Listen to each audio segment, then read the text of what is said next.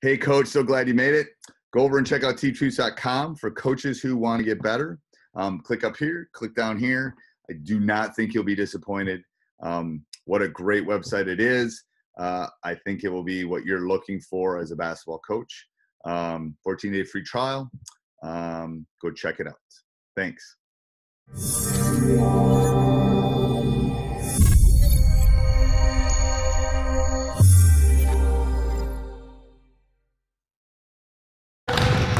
Okay, you need a partner in the ball, please. And if one player, yeah, partner in the ball.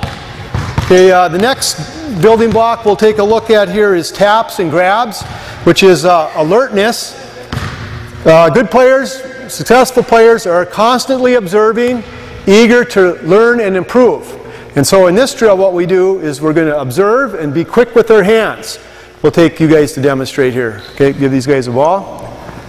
Okay, would you hold, nice, nice job. Would you hold the ball out in front of you, please? And you've got your hands next to your sides. Okay, and so your arm's fully extended. You can back up a little bit.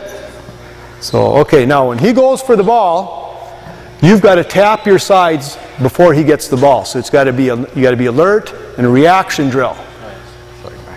Okay, so watch his hands now. Good. Tap your hands really hard on the side when you see his hands go for the ball. Oh. Yeah, okay, good. Now you've got the ball.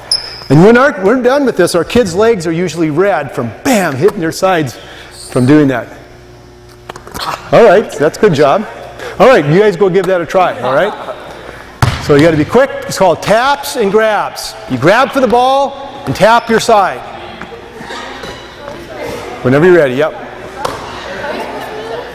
Good job. Yep, so you good. Your hands are next to your side. When you go for the ball, you got to tap, you got to tap your sides. Oh my god. And then, then just keep them there. Oh. Yep, then she's got the ball then. So you just want to hit your sides before she can get to the ball. Okay, good. Okay, now you have the ball. Your hands are to your sides now. Okay, when she goes for it, you got to tap. Good. Okay, tap your side. There you go. There you go. So when you tap, then you're done with the ball. What? If, when you tap your side, then it's his ball. Then he'll do it, then you get to do it. So, so when you see him go for the ball, you just tap and then stop. Oh, I thought I supposed to catch it. No, that's okay. There you go. Then you got to wait till you see his hands going. So this is just basically an alertness drill, uh, being quick reactions. Kids really enjoy that one as well.